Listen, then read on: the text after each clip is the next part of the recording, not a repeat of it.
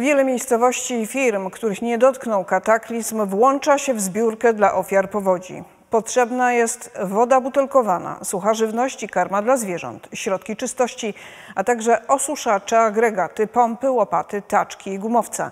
Łukasz Kądziołka.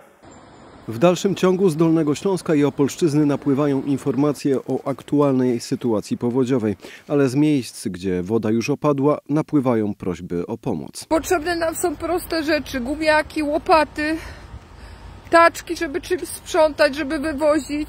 W Katowicach już zaczęła się mobilizacja do pomocy. Skala tragedii robi na ludziach ogromne wrażenie. To jest pierwsza zbiórka, w której biorę udział. E, Mam nadzieję, że to się rozkręci, ponieważ no, pomoc jest potrzebna i nie da się ukryć. No, ludzie zostali często z niczym absolutnie. Miasto przekaże te rzeczy dalej. Jesteśmy w trakcie prowadzenia takich rozmów dotyczących tego, aby rzeczywiście te dary tam trafiły.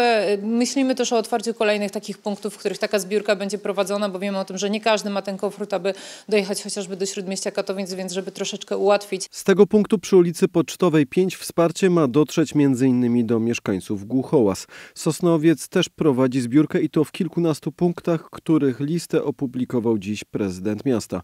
Lokalnie zaczyna działać Caritas Diecezji Bielsko-Żywieckiej. W magazynie w Janowicach trwają przygotowania do pomocy mieszkańcom powiatu. Zapraszamy wszystkie osoby, które w jakiś sposób zostały dotknięte przez tą sytuację powodziową do tego, żeby się tutaj do nas zgłaszać, czy do centrali, czy poprzez księży proboszczów o odbiór żywności.